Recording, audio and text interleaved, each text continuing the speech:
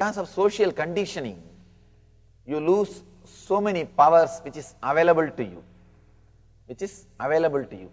Same way when the kids whirl, they balance their energy. Actually, whirling is a beautiful technique to balance your energy. In Sufism, whirling is given as a meditation technique. When kids whirl, they balance their energy. But you don't feel comfortable or happy when they whirl.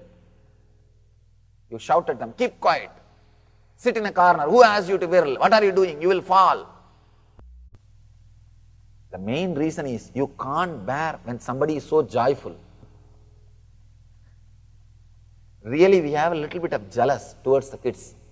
Here I am dying, you fellow, you are jumping and enjoying. No, never ever think that you don't have jealousy. Look deeply, you will understand. Really, we feel jealous when kids are jumping around. When they are jumping around. That's why we shout at them, keep quiet, sit in a corner, don't write. Who asked you to write on the wall? Who asked you to uh, jump? Why are you whirling? Shout at them, make them also dull, dead, just like us. Then we are very happy. Now we have a, our, we have established ourselves in our kids.